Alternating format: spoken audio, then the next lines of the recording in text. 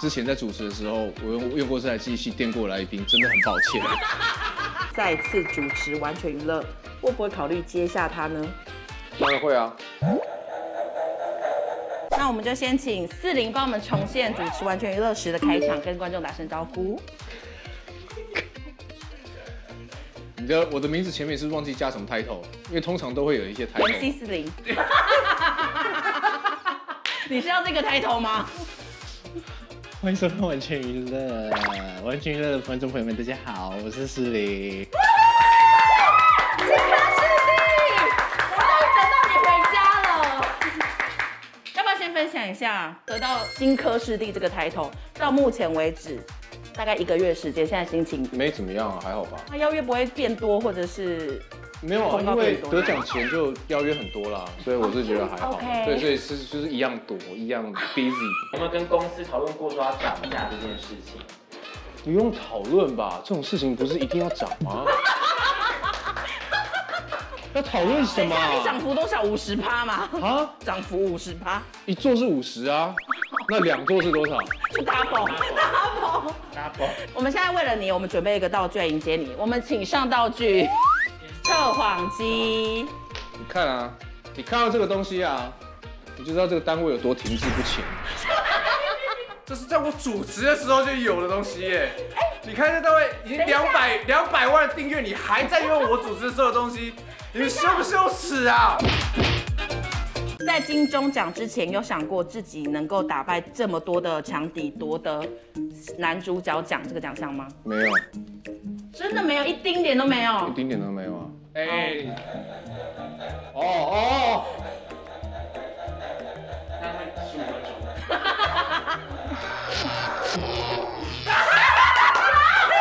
你说谎，你说谎，你说谎，你这招好阴险哦！怎么没有？心跳点不对。对，你很哎，你真的没有想过一个上台的念头吗？没有，包含我应该有吧？没有啊，我我我上台讲的真的没准备啊。真的没准备。对啊，然后你的改年被大赞好评哎，有吗你？讲的很好，对啊。不行吧？大会不爽啊！不行当个没有准备的演员，他当个有准备你。知道他有多无聊吗？他昨昨前一天晚上，然后他在那边教训我起来，他说你不可以没有准备，你要当个堂堂正正的演艺人员，你可以不用上台，但是不能不准备。啊，我想说你有神经病，我就想说不要，我就是个歪歪斜斜的人啊，我就说我还是睡，我说我还是睡觉，而且我不会得奖，我干嘛准备啊？但是反正就是怎么样就怎么样，然后就后来就很幸运的就就得奖了，所以我也不晓得站点是什么，他们可能没看我之前的访问吧。我入围前、入围后得奖前，大家都讲的不是都一样的吗？可能真的没看。对。那其实你自己过去不太看网络上的那些评论，嗯，到现在也一样吗？对啊，当然也一样啊，不要笑，不会。哎，我不要讲话。我们现在讲讲，我们讲讲哦，我冇讲话哦。我之前在主持的时候，我用用过这台机器电过来宾，真的很抱歉。怎么测心跳都是假的？我现在就跟大家道歉哦，真的没有看吗？真的没有看。没有啦，得奖是一件很开心，我觉得很幸运的事。可是我不会因为得了奖之后就改变我的任何的的的的态度，或者是行为，或者是生活作息等等，我觉得完全都没有变啊。我不会去看网络上的评论，但是大家很爱来 IG 就是私讯我，他们看完作品或是对里面有些什么想法啊，还有包含呃指教的也有，就是都会都会很很愿意私讯，但是我都觉得很开心啊。有些会跟我讲，呃，就是告白。谢谢你帮我缓冲。啊，差点哭出来。像我刚刚前前几哎前几天上个礼拜吧，收到的一个就是他跟我讲是，他跟他阿公阿妈一起看《生生世世》，然后后来看到一半的时候，阿公就先离开了，然后他们在一起帮那个阿公办后事的时候，然后就是还是会看《生生世世》，因为觉得那是跟阿公的那个，然后后来。我入围了，然后得奖，然后那个孙女就拿我的照片给阿妈看，然后阿妈就会说，阿妈就会说啊，好帅啊，什么什么什么的，然后就是恭喜他，然后谢谢他，这种东西对，很多啦，就是这个是最新上礼拜收到，然后我就会觉得，唉透过他这样长很长一篇，然后这样跟我分享这些事情，然后我会觉得哇，我我在我是不是无意之中，好像帮我不敢讲帮啊，可能派上用场，至于他对他们家，然后他阿妈，然后还有可能他自己的情绪什么的，我就会觉得。我我不知道好幸运哦！我觉得我对够了，可以退休了。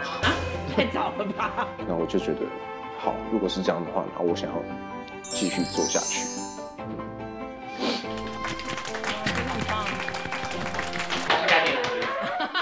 那现在在你最新的作作品《茶经》当中，你饰演的文贵，也被连云涵说很像是恐怖情人。嗯，那说真的，你自己的真实人生是不是也是一个恐怖情人？你这怎么会所以才有代入感。对你这怎么会问我呢？你这不是应该要问其他人说，哎、他是不是恐怖情人比较准吗？搞不好你自己也会有这种认知的啊。就跟对啊，说的是 反过来是这样。对啊之类的这种啊。不会不会，我呃没有不会，我不觉得是恐怖情人。来，我自己按你哈。范围很广。你不要讲话。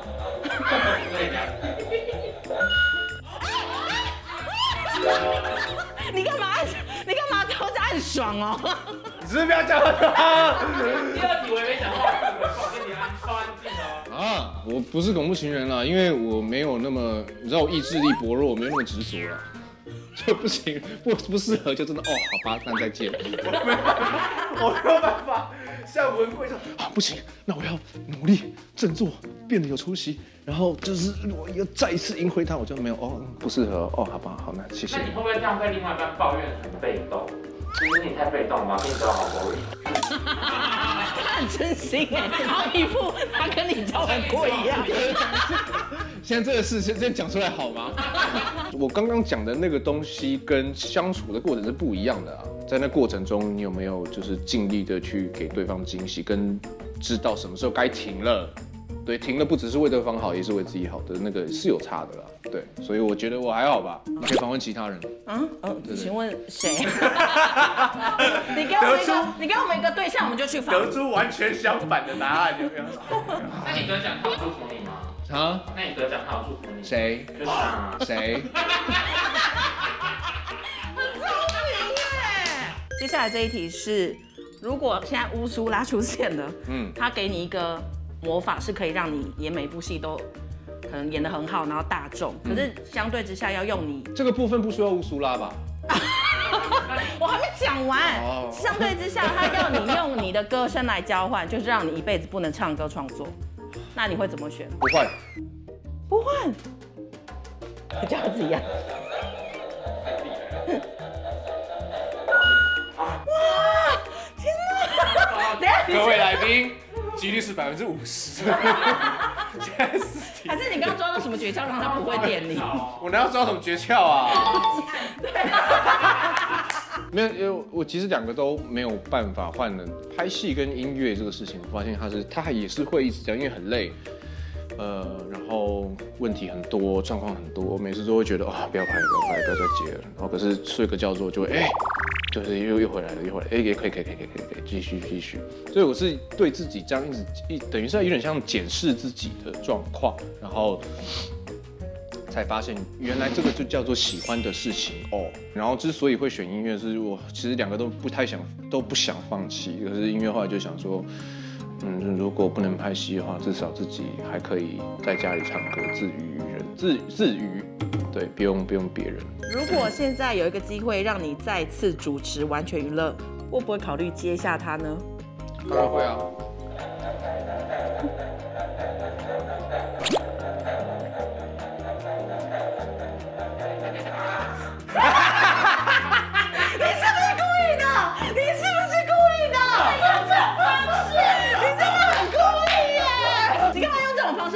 问题？我没有逃避，我当上主持，你疯了哦！我但是你，被电代表你说谎。万一现在两百万哎，拜托来找我，拜托，你疯了吗？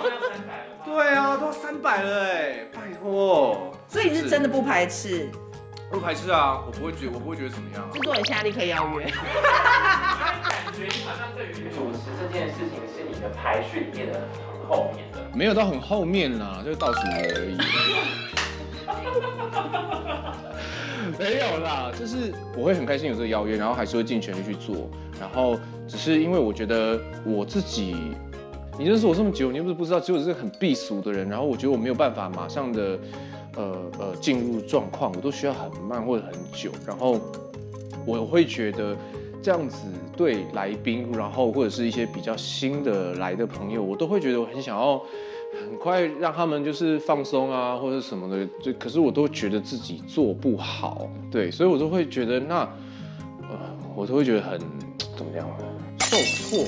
对，第一看我写一篇文章，我不知道你知道这件事，这个是一个幕后工作人员出来讲的。嗯，他就说他当他曾经是呃某一个节目的制作助理，然后有一次你就是你你跟他一起工作完回家之后，你载他回家，但是你好像讲了一句说，可是这个节目好像有我没有我都没有查呢，就是你有跟他讲过这句话，然后你还透你还说可以把你的电话号码给这个工作人员，就是你你记得这个这件事情吗？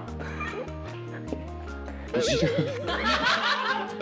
我的电话号码很好取得啊。不过不过他很的确很像我会这样这样形容起来，很像我会干出的事情。因为我一直以来都这样觉得啊，不只是节目啊，我做什么都这样觉得啊，包括现在也是啊。没有没有什么角色是非你不可。因为刚开始主持的时候就很就很紧张，然后很紧绷。我以为做几年会好，那没有好啊。那是不是我自己不适合啊？你都你主持几年了，然后还是紧张，你知道这紧张个屁啊！我都会这样问我自己，会不会再选一次主持完鱼的话，一定会啊。就是要不然的话，我就不嗯，我就不会认识你们，我生活中就没有你们的了，可能就只是一个哦一个记者，然后或者是谁，对啊，就觉得很轻松。好了，最后一题，最后一题，成为新科视帝之后哎，你是不是少两个字啊？啊，金钟，哎还是还少两个字吧？双料，谢谢。好，你问题是说比较不精准呢、好。哦，好。好，重点是后面这一句，好不好好好好？以后会不会有大头症？好，不会，真的忍不住都觉得你是不是在调试你自己的心境？这台机器真的有这么精密吗？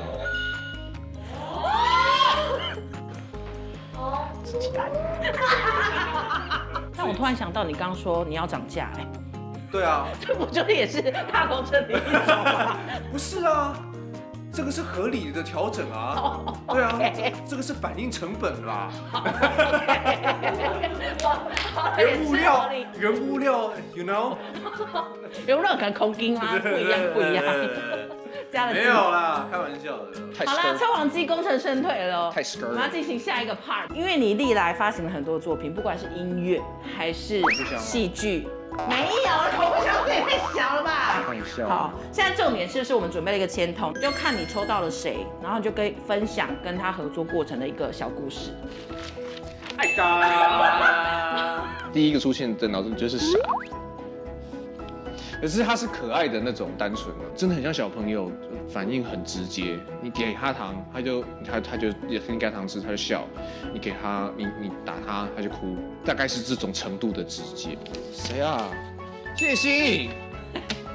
呃，哇，新颖哦，新颖就是艾莎二点零。